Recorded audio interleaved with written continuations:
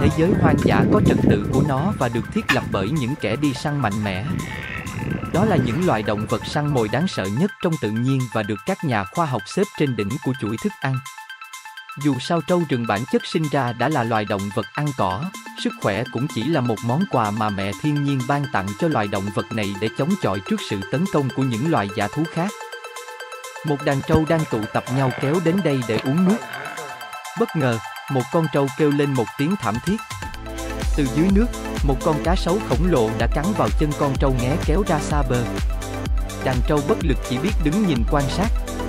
Cuối cùng con trâu ngé bỏ mạng trước răng hàm sắc nhọn của cá sấu.